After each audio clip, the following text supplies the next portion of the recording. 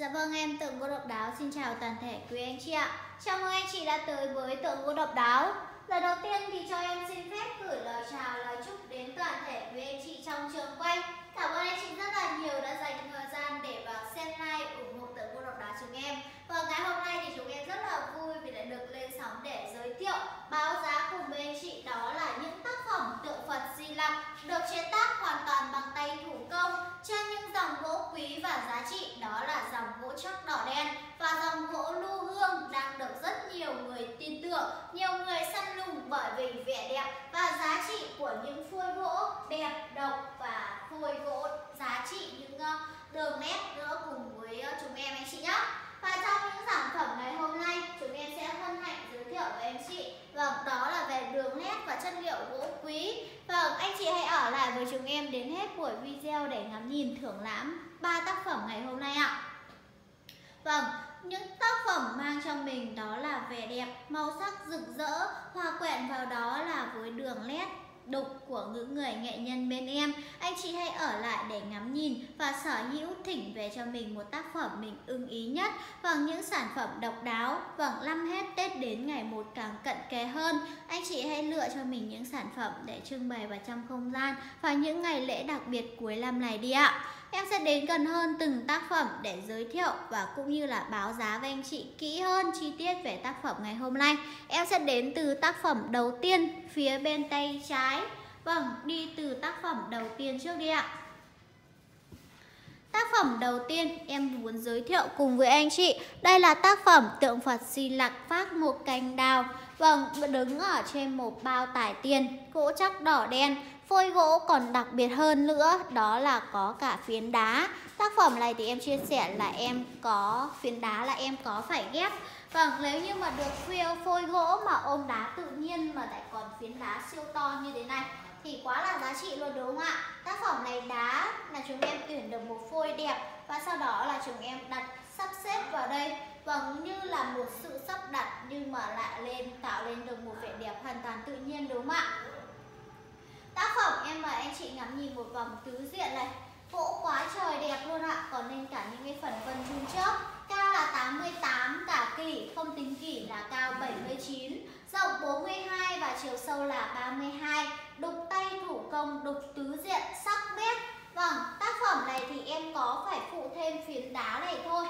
Đá này là em có phụ vào thôi, Còn đâu nguyên cốt tượng người, Những chi tiết ở xung quanh hay là những em bé đều là liền khối luôn ạ.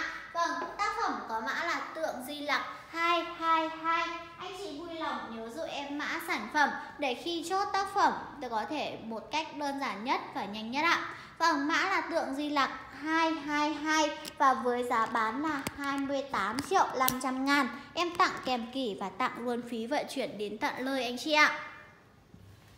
Vâng, em sẽ đến gần hơn để anh chị ngắm nhìn cùng với em. Vâng, biểu tượng của Ngài Phật Di Lặc. Phật Di Lặc không còn quá là xa lạ đối với anh chị, đối với người dân Việt Nam chúng ta rồi đúng không ạ? Ngài Phật Di Lặc được mệnh danh là Phật cười. Vâng, bởi vì Ngài luôn là một nụ cười hoan hỷ và tươi vui. Tác phẩm Ngài Phật Di Lặc mang đến niềm vui hoan hỷ đến cho mọi nhà, mang đến gia ờ, tài lộc đến cho gia chủ. Anh chị cùng ngắm nhìn với em đấy ạ. Vâng, khuôn diện của Ngài cười rất là tươi vui và hoan hỷ. Dáng thế của Ngài thì cũng rất là thoải mái luôn ạ. Trong những tác phẩm tượng khó chế tác đó chính là phần khuôn diện. Diện làm sao ta nên được có hồn, thần thái và sắc nét? Vâng, miệng cười hoan hỷ. Vâng, bụng to chứa thiên hạ và nụ cười độ nhân gian đúng không ạ? Nụ cười tươi vui này, đó, vâng và khuôn diện của ngài còn có cả những cái phần vân chun chớp. Anh chị có thể cùng ngắm nhìn với em. Đây là những cái phần chun chớp này. Vâng, tai anh chị nhá, dải tai của ngài này. Tai to đúng không ạ, lắng nghe được những muộn phiền của thế gian. Vâng, và dáng đứng của ngài. Ngài đang vác đó là một cành đào. Một cành đào tiên bằng tượng trưng đó là sức khỏe Tài lộc và giống như là đó là lao động thành quả của gia chủ đó đúng không ạ? Vâng, sau những ngày làm việc, những cái lao động thành quả đã đến lúc đó là đơm hoa và kết trái. Những trái đào này Vâng, anh chị có cùng em là Anh chị có thấy rõ được cái phần vân chun chớp không ạ? Vâng, chúng em đang truyền tải với anh chị đó là bằng cam thường. Vì vậy những cái phần vân chun chớp em quay gần, quay cận chất Thì anh chị có thể thấy rõ cùng với chúng em. Tác phẩm ngày hôm nay, Ngài đang đứng. Vâng, xung quanh đó còn có đó là năm em bé Ngũ Phúc, vâng, Phúc, Lộc, Thọ, Khang và Linh. Những lời chúc may mắn đến gia chủ. Và cũng đó là chúc gia chủ có con cháu đề về Có lép, có tẻ, đầy đủ. Và con cháu và tiểu... Uh, con cháu của gia chủ thì ai cũng khỏe mạnh, đáng yêu mũm mĩm như là những tiểu đồng xuất hiện ở bên ngài Phật si Lặc đấy ạ. Mỗi một em bé một hình dáng, một dáng thế khác nhau tạo lên được sinh động, vâng giống như là một bức tranh 3D đang hoạt động, sôi nổi ở trong khuôn gian gia đình mình đúng không ạ? Em bé đây thì là cầm trống này, Vâng, đang đứng nhảy và còn đánh trống Em bé gái này thì đang cầm đó là sâu đồng tiền vàng của chú rơi đang ngậm Vâng, một chú rơi tượng trưng cho đó là phúc thử. Vâng, đang ngậm đó là sâu tiền vàng. Bên đây là một bé trai. Vâng, và trong tác phẩm thì chúng em còn chế tác thêm đây là cả một cụ thiêm thư. Thiêm thư thu hút tài lộc may mắn đến gia chủ. Vâng, mang đến những ý nghĩa, mang đến tài lộc đến gia chủ đúng không ạ? Và đặc biệt ở trong tác phẩm ngày hôm nay đó chính là phiến đá này. Vâng, phiến đá được uh, lựa được một phôi uh, đặc biệt đúng không ạ? Phôi tròn trịa này Màu sắc sáng màu bên trên thì chúng em đã gắn tặng anh chị đó là chữ tài lộc. Vâng, năm hết Tết đến, tài lộc đến nhà, mang đến hoan hỷ tươi vui, chúc sang năm một vạn uh, sự may, vâng, gặt hái được nhiều thành công, rũ bỏ được đi những cái điều cũ, vâng, đón nhận đó là những cái không khí mới, những cái nguồn năng lượng mới đến gia chủ, được chế ạ? Ờ, được chúng em chế tác đấy ạ. Và đây là mặt đằng sau anh chị nhé Anh chị cùng ngắm nhìn em với em mặt đằng sau tác phẩm đây ạ. Chế tác tứ diện thủ công, Những cái đường nét vải thì mềm mại, rũ xuống bên dưới này. Chế tác đây, những cái đường nét này. Vâng đặc biệt là trên dòng gỗ chắc đỏ đen Mà được anh chị thấy là phôi gỗ đúng không ạ? Phôi gỗ dày dặn này, Form gỗ đây ạ. Vâng chiều sâu đến 32 mà phôi gỗ thì lại rất là ít lũa, chỉ có một chút xíu lũa phần này thôi. Thì chúng em đã thiết kế đó là phiến đá. Phôi như vậy thì chúng em hoàn toàn có thể đó là sẽ thành khí, làm được những cái bộ bàn ghế rồi. Nhưng mà chúng em lại lựa chọn đó là chế tác ngài Phật Di Lặc và mang đến sự hoan hỷ, tươi vui hòa đồng. Đặc biệt hơn nữa là ai cũng có thể thỉnh ngài về trong không gian. Vâng Tác phẩm này em xin báo lại với anh chị kích thước và giá để anh chị cùng cân đối với chúng em ạ. Cao là 88 cả kỷ, không tính kỷ là cao 79, rộng 42 và chiều sâu là 32. Tác phẩm liền khối, đá là em có phải phụ thêm thôi ạ.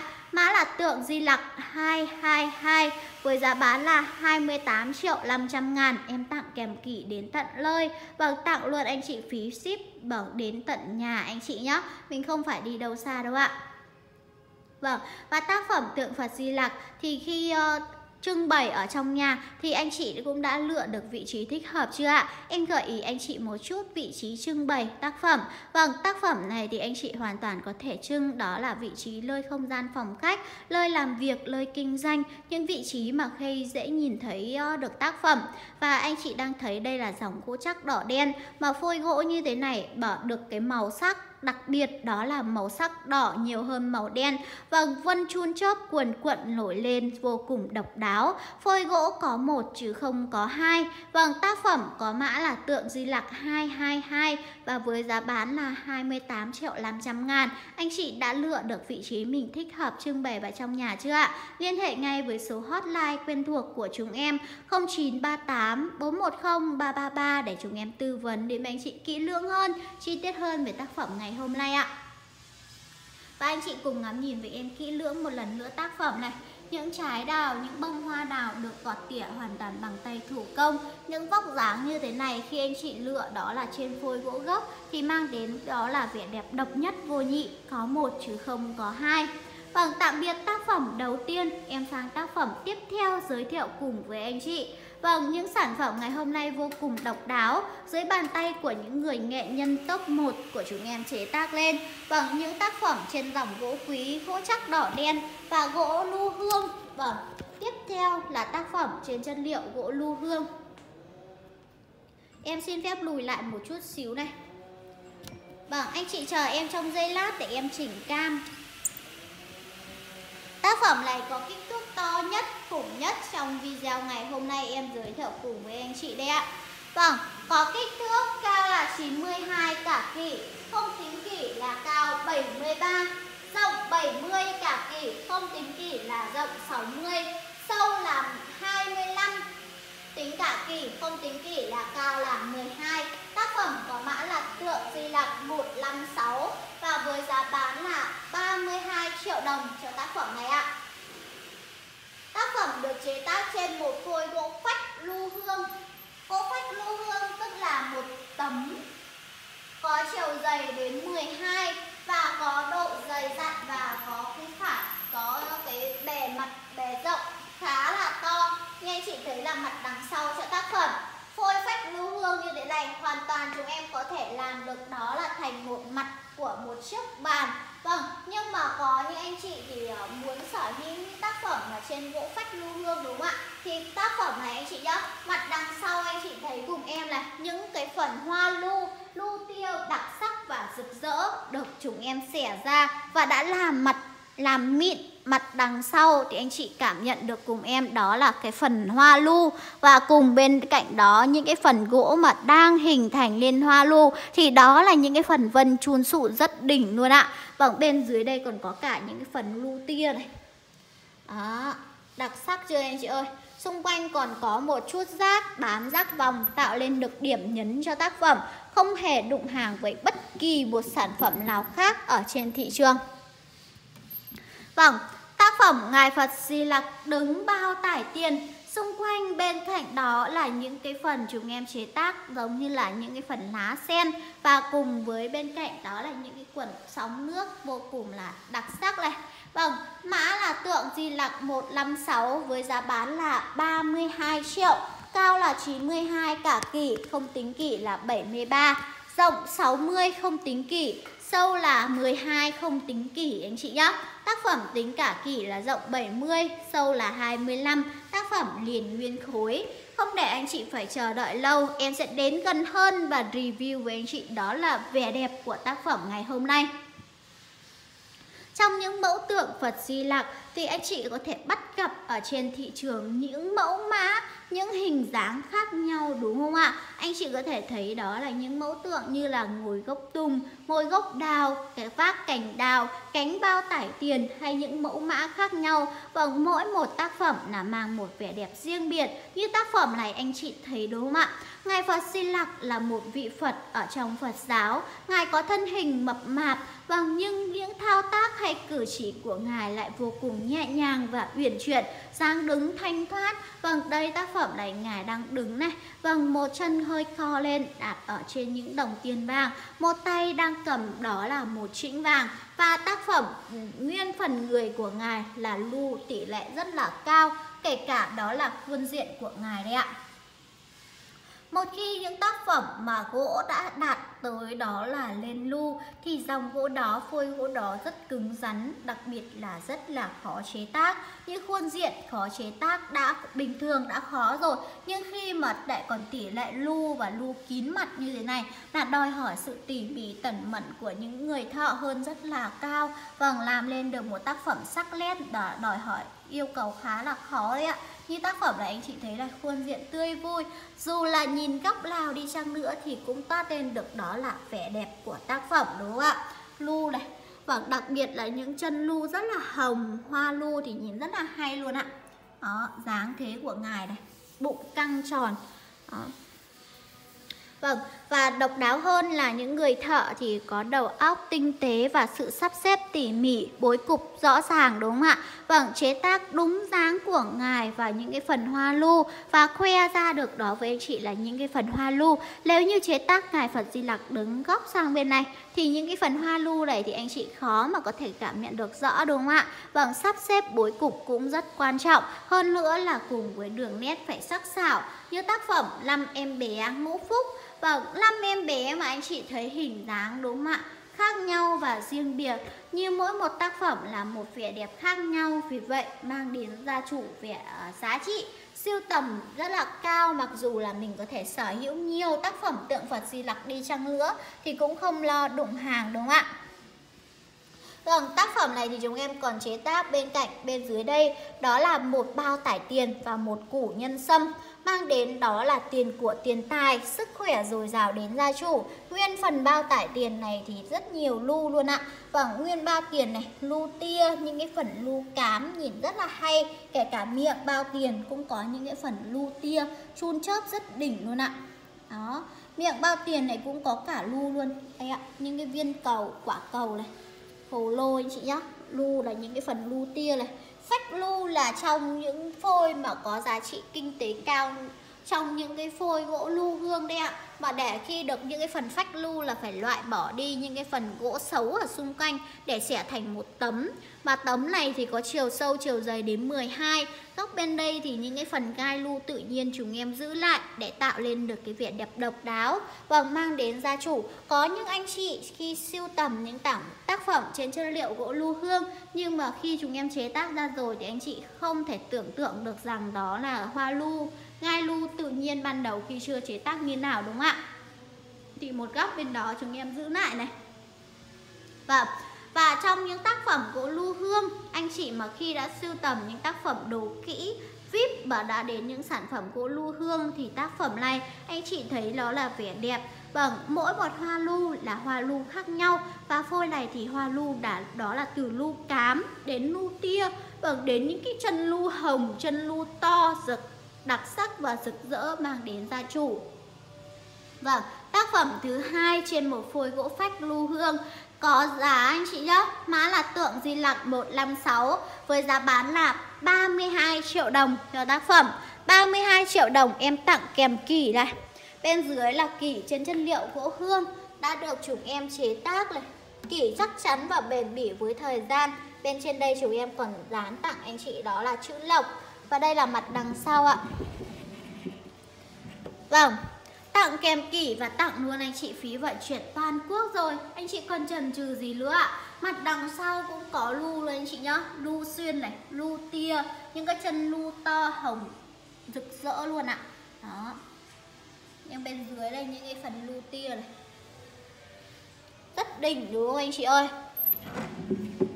Vâng ạ và có những anh chị mà khi mà mình siêu tầm những sản phẩm tượng gỗ, Thay vì là anh chị siêu tầm rất nhiều những tác phẩm đúng ạ? Mình chắt chiêu lại và mình lựa chọn ít lại Nhưng mà đòi họ ờ, tìm kiếm. Đó là những tác phẩm tượng gỗ VIP và giá trị Thì không cần quá là nhiều tác phẩm ít thôi nhưng mà chất lượng là đã đủ rồi anh chị nhá. Tôn lên được vẻ đẹp và sự sang trọng hơn rất là nhiều so với nhiều tác phẩm mà bình thường đấy ạ. Như tác phẩm tượng thứ hai vâng tác phẩm tượng vip gỗ phách lưu hương, liền nguyên khối, cao là 92 cả kỳ, không tính kỷ là 73 rộng 70 và sâu là 25 có mã là tượng Di Lặc 156 với giá bán là 32 triệu đồng. Cho tác phẩm tượng Phật Di Lặc đứng bao tiền, gỗ phách lưu hương, ngũ phúc, liền khối 100% và tỷ lệ lưu thì rất là nhiều từ ngài Phật Di Lặc đến bao tiền hay là kể cả ở bên trên những em bé những cái phần lá những cái phần giải mây đều có những cái hoa lưu kể cả phần rác này cũng có những cái phần hoa lưu rất đặc sắc.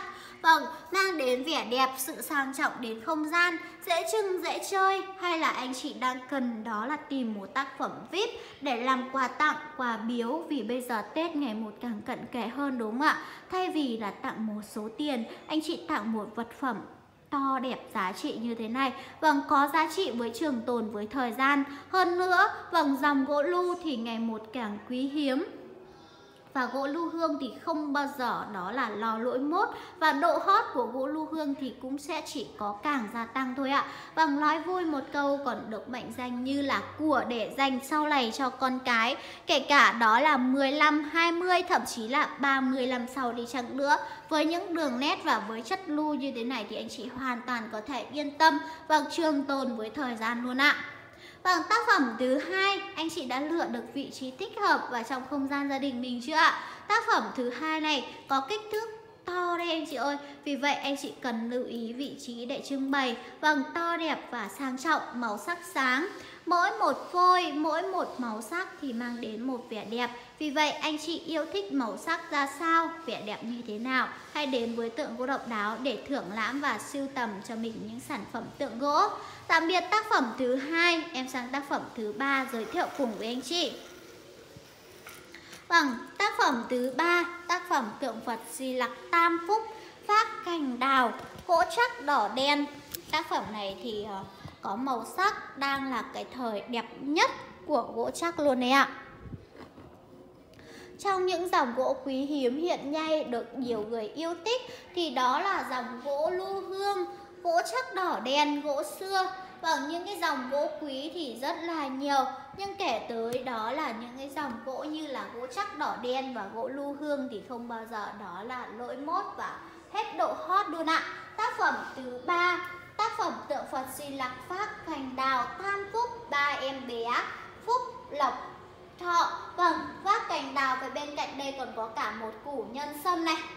Tác phẩm thứ ba có kích thước cao là 76 rộng 46 và chiều sâu là 21, có mã là tượng Di Lặc 218, được chế tác hoàn toàn thủ công bằng tay, moi móc những cái phần tơi kênh bông ra cũng là hoàn toàn thủ công, chế tác tứ diện này. Vâng, tác phẩm có mã là tượng Di Lặc 218 với giá bán là 26 triệu 500 ngàn. Tăng em tặng anh chị phí vận chuyển này.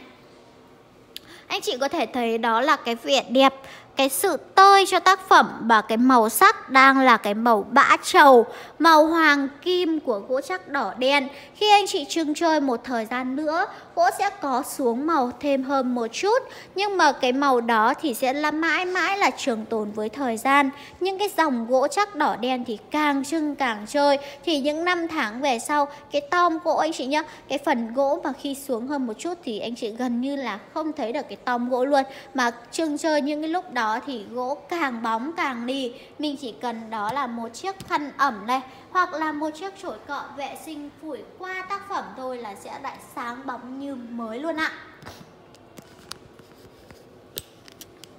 Vâng, em sẽ đến lại gần hơn để anh chị cùng ngắm nhìn với em tác phẩm thứ ba. Tác phẩm này thì em giới thiệu với anh chị. Vâng, chia sẻ là em có phụ thêm đó là phần củ nhân sâm.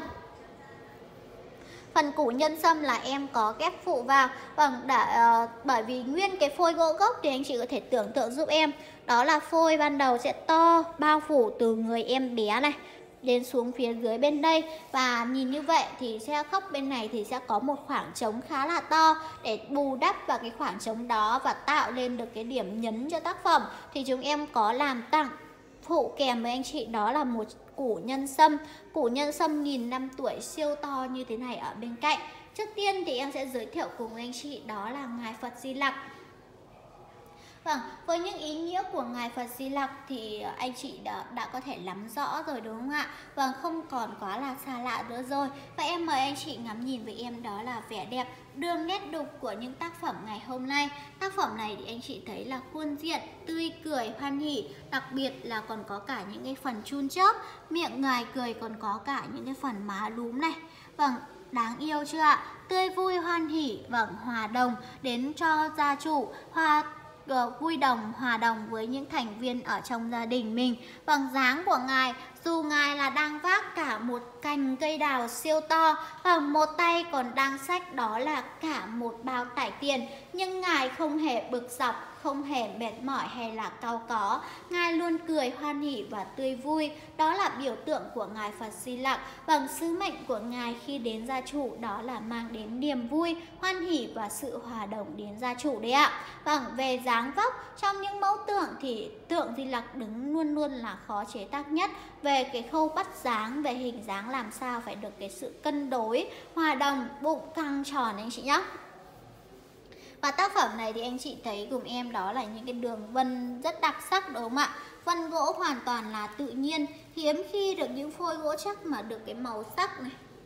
Đó, được phôi màu đỏ nhiều hơn đó là màu đen anh chị nhé Mà vân thì quá đỉnh luôn ạ Vân cuồn cuộn luôn anh chị ơi Bên đây là bao tải tiền đã được chúng em chế tác tơi cành bông bằng những cái phần dây tiền hay là kể cả phần ngón tay, móng tay của ngài đều được chúng em tỉa, gọt tỉa hoàn toàn thủ công bằng tay. Vâng, và anh chị thấy là trong tác phẩm này đó là những em bé đấy ạ nhưng em bé rất là đáng yêu này. Em bé này thì đang đó là treo lên bao tải tiền Miệng đang chu chu đúng không ạ? Đang chu chu lên nhìn rất đáng yêu. Vâng má phính lúng lính này. Vâng cười tươi vui hoan hỉ Tay cầm một sâu tải tiền. À, Một sâu tiền luôn anh chị nhá. Bên dưới chúng em chế tác đó là những cây lấm linh chi. Bên à, cạnh bên dưới nữa thì chúng em chế tác đó là những cái phần đất đá đã được tạo sần. Cây uh, cây cỏ ấy, chị nhá. Những cỏ hoa lá này. Đó. Như là một bức tranh đang hoạt động luôn đây ạ. Đây anh chị ơi. Em bé này, đáng yêu chưa ạ? Vâng trong những tác phẩm mà anh chị thấy là sẽ chỉ có điểm chung đó là ngài Phật Di Lặc và những em bé. Nhưng về hình dáng hay là mẫu mã trong, mặc dù là trong ba tác phẩm thì anh chị thấy là không hề có một cái chi tiết nào được lặp lại luôn đúng không ạ? Vâng, mỗi một tác phẩm một vẻ đẹp này Em bé này rất tinh nghịch đúng không ạ? Bá vào vai ngài Phật Di Lặc còn đang trèo ra, đưa ra lên chị nhá. Vào diện thì cười rất là đáng yêu luôn ạ. Đó, vâng, tay này. Vâng, và tác phẩm này thì chúng em chế tác rất là kỹ, kỹ từ ngài Phật Di Lặc Tiếp theo đến những cái phần bông hoa đào. Anh chị thấy được cái sự tỉ mỉ của tác phẩm này đó. Những cái bông hoa đều được động có cái độ động nhẹ ở trong cánh hoa và tiếp theo đó là cái phần nhụy hoa. Còn phần uh, bông hoa này đang chớm lở. Những trái đào căng mọng mà trái đào thì vân quá trời luôn. Vân đỉnh luôn anh chị nhá. Vân hoàn toàn là tự nhiên ạ. Không qua một bước xử lý vân nào đâu anh chị ơi. Bên trên đây này đó. Vâng, em bé rất là tinh nghịch đúng không ạ? Vâng, đó là tượng trưng, đó là lời chúc đến gia chủ Là con cháu, con cái ai cũng để về Vâng, con cháu khỏe mạnh, đặc biệt là đáng yêu như những cô chú tiểu đồng Mặc dù là hơi tinh nghịch một chút thôi Nhưng ai cũng khỏe khoắn, xinh xắn và đáng yêu Vâng, đó là điều mong ước của mỗi nhà rồi đúng không ạ? Mong cho con cháu ai cũng khỏe mạnh này Mũ mĩm ờ, để có một cuộc sống hạnh phúc và an nhiên Em xin báo lại với anh chị kích thước và giá để anh chị cùng cân đối tham khảo với chúng em ạ. Cao là 76, rộng 46 và chiều sâu là 21. Mã là tượng Di lạc 218 với giá bán là 26 triệu 500 ngàn. Tác phẩm em có phụ thêm một chút xíu đó là phần củ nhân sâm để tạo thêm được đế cân bằng. Vâng, và làm nên được cái điểm nhấn cho tác phẩm không hề đụng hàng với bất kỳ một sản phẩm nào khác ở trên thị trường. Qua ba tác phẩm ngày hôm nay, anh chị đã lựa được tác phẩm mình ưng ý vào trong không gian chưa ạ? Và hy vọng tượng gỗ độc đáo có thể là cầu lối, là lơi để có thể giao lưu, để giúp anh chị đó là thỏa mãn niềm đam mê yêu thích tượng gỗ. Vâng, anh chị có băn khoăn hay thắc mắc gì về chi tiết của sản phẩm, anh chị hãy liên hệ với số hotline của tượng gỗ độc đáo 0938 410 333 Thường gỗ độc đáo tại làng nghề Mộc, Đông Giao, Cẩm Giàng, Hải Dương với những đội ngũ thợ chuyên chế tác những sản phẩm tượng gỗ, hy vọng là có thể phục vụ tất cả những quý anh anh chị trên mọi miền đất nước. Và bây giờ thì em xin phép đó là kết thúc video tại đây. Cảm ơn anh chị rất là nhiều đã dành thời gian để vào xem like, ủng hộ tượng ngô độc đáo. Bây giờ thì em xin phép đó là tắt video tại đây. Xin chúc anh chị một ngày vâng thật là vui vẻ gặt hái được nhiều thành công ở trong cuộc sống. Và bây giờ thì em xin chào, hẹn gặp lại anh chị ạ.